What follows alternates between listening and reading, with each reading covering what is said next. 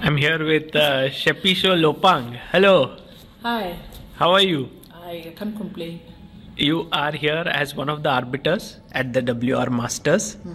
Uh, how has the experience been and how did you decide to be a part of this event?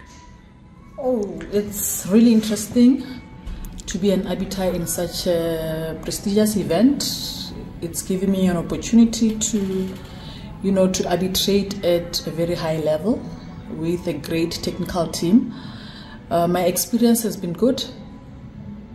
So far, I can't complain. Even people who are in the background of the tournament, who are doing the organization, everything is so perfect. How did this opportunity come by for you?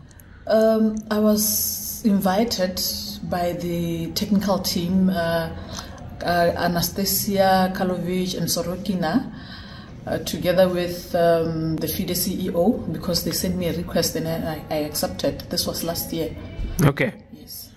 and uh, you are uh, many things I, I have many things to ask you you are the president of the african chess constituency is that correct uh, you're also the you're also a wim uh, and you are uh, you know you've been to multiple olympiads you've played for botswana. So it's amazing what you have achieved. Uh, firstly about your role as the president. Uh, it's been close to now seven to eight months since you became a president. How has that been? And you are the first female president ever in in africa.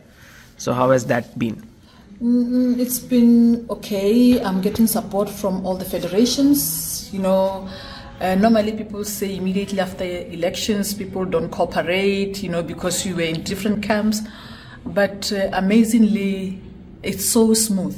That is one thing I can say. Even my opponents, you know, they have come on board to to work with me where I need help, where they feel we can make an improvement because we are still starting. So it, we are having hiccups here and there in terms of sourcing resources, of course, so that we can develop the continent. But otherwise, I'm having support from all the federations. what would be your main aim uh, what are some of the main goals that you want to achieve as a president One of the most important things is to ensure that you know Africa is fully developed in all aspects. Our players need to be at that notch. I know uh, travel is the main challenge in terms of you know you can even train your players, but you cannot take them anywhere because we don't have resources to send our players to tournaments. Uh, for example, if you look into Egypt, um, Tunisia, Algeria, they are closer to Europe. So it's actually cheaper to play in Europe when we are from Egypt and Algeria than to play chess in the continent. And mind you, for you to get um, rating, you need to play highly rated events. But when you look into the continent, uh, we are concentrated up north. And from sub Sahara downwards, our ratings are not up to par. So that is where we are having some few challenges. Yes. so uh, do you want to organize more tournaments in the continent We need to organize more tournaments with highly rated players because with our ratings, we cannot get titles, of course, because you need a certain rating for you Right. to, to have a title. right Yes. but it's not easy to do it without sponsors and Exactly. It's not easy to do it without sponsors. That is why we are calling to all sponsors to come on board. You know, I'm really happy because the WR uh, CEO Vadim, he has actually offered uh, like slots to say he will sponsor our club championship, and then the winners will come for the summer event in June, which is a good thing. So in June, there's going to be the FIDE World Rapid Team Championship Yes, here. So one of the teams that, wins. qualifies in Africa, he will sponsor the Wow. flight tickets and full board and lodging, which is a great thing, you know. That's a that's a great gesture. No, it is. It is because it's a lot of money. Yes. And on our own, we can't even manage to raise money for tickets, even accommodation to come and play in this event. Because you can imagine how many clubs will be here. Uh, we are having a lot of strong grandmasters in Europe.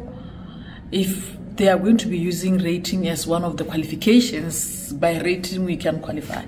Right. So uh, I'm really thankful for the Vadim to to offer us such a sponsorship. It's amazing. And also, there have been some very nice uh, examples and stories in African chess mm-hmm. where uh, chess has been used as a way of empowerment. And uh, I think there are there are movies also made on it, but there are also very nice real life uh, I see projects that are going on. Uh, to to do it. So could you tell us a bit about few of the things you think are are uh, Okay, for now, uh, social projects in chess is taking another angle because chess is doing very well in in in, the, in that area. We are having chess in, in prisons, FIDE introduced chess in prisons. Yes. And I've seen that a couple of federations already are, send, are signing memorandums with their, their prison department. I've seen uh, Mozambique did the same thing, and then oh. even Malawi is coming on board uh, Zimbabwe has been doing that, which is so amazing. You know, now we want to go to chess in refugees already in Kenya. We have seen the Kakuma camp, girls there playing chess. To some, is uh, a form of employment, and that is one area that we, we never talk about. We are having a lot of youth who are unemployed, but some decided to go into chess to, to teach chess, right. and they are having, you know, sustainable income and we cannot all be professionals in medicine, in engineering, or law. Some decided to go for chess, and it's paying very well. Wow. So there are opportunities in there that aspect. There are opportunities, you know, there are opportunities. So it's not only chess for leisure, it's also chess for employment. Right. Yeah. And you're also a PhD, if I'm not mistaken. Is that correct? I'm a candidate. I'm You're studying? yes, I'm studying. And on what subject? Strategy. Strategy? Yes. Wow. Yes. So, so actually, what you are doing in chess can no, actually help you, right? In your 100%. If it was not chess, I was not going to be here now. Mm. This is an opportunity for me. I've traveled so many countries because of chess. And, you know, for me to go for PhD as well, you know, there was this other lady who was doing her presentation and she's a chess player. I'm like, what is it that I can do? If this lady is a doctor, I can be one. And I went for it. Wow. It's amazing. I think chess has given you this approach that you can achieve anything, like that no, attitude. Yeah, exactly. There is nothing that, uh, you know, when I'm sleeping, when I think of doing anything, you know, I go for it. Mm. Yes. Nothing says, no, you can't do it. You know, I'm this person because of this game. So if are, it was not for chess, I don't know what I'll say. Even my kid, my first kid's name is Leko. Leko? Yes. After Peter Leko? After Peter Leko, yeah. Uh, are you? Is he your favorite player? He was my favorite player. You know, we were looking up to Leko, and one day I said, you know, that was in uh, I think 2000. Okay. I'm like, okay, if I have a baby, I'm going to call him or her Leko, whether boy or girl. Really? Yes. I mean, in 2000, what happened that you made this decision? Um, there was a tournament. I think he won a tournament. Okay. And you know, the first he appeared in one of the magazines so that's how it came up. And in 2006, when I had my first child, I called him Leko. well, you you make a decision, but then you kept the, the promise to do it. promise. That because was in 2000, 2006. I had to do it. Because your name itself means promise, right? Yes. oh, yeah, I couldn't even relate. Right. Uh, tell us what does a day in your life look like? Because you are a president of an entire continent. So let, us say after this tournament gets over you go back home. How, how okay, does it in a, in a simple day i'm an employee. Mm-hmm.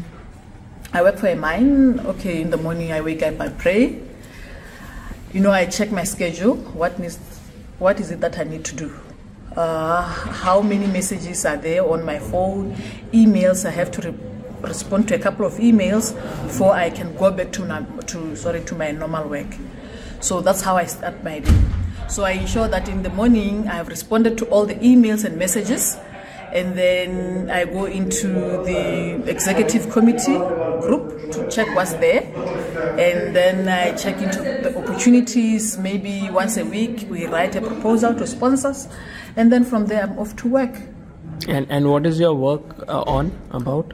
I'm an instrumentation technician by qualification. Ah, and and you said you work in a mine. uh, Yes, uh, in a diamond mine. Yeah. Wow, Yes. amazing. So so you you are. The list keeps growing. Yeah, you are a PhD candidate. You are working. You are employed. You are also a mother. You I'm are. a mother. So what is the secret of doing so many things? What can I say is the secret? I mean, to do I, like I, I don't know. The- I don't know. God decided to, to make me that person. I don't know.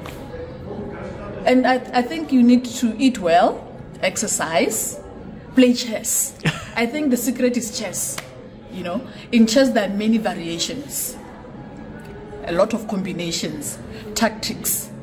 So if you cannot play any variation, what else can you do? right. You need to have an opening of some sort and then you can maneuver somewhere in the game and see how best you can mate. Amazing. And what would you say is your future ambition? Let's say 10 years down the line, what, what would you like th- things to pan out like? In what way? Okay, and future, let's see. God will decide. But uh, of course, chess will always be there for me. Me and chess are together. Nobody can separate us. You know, nobody. So we want, we are looking for more opportunities. Of course, in India, tag us along. Your youth are doing very well. We want to know your secret.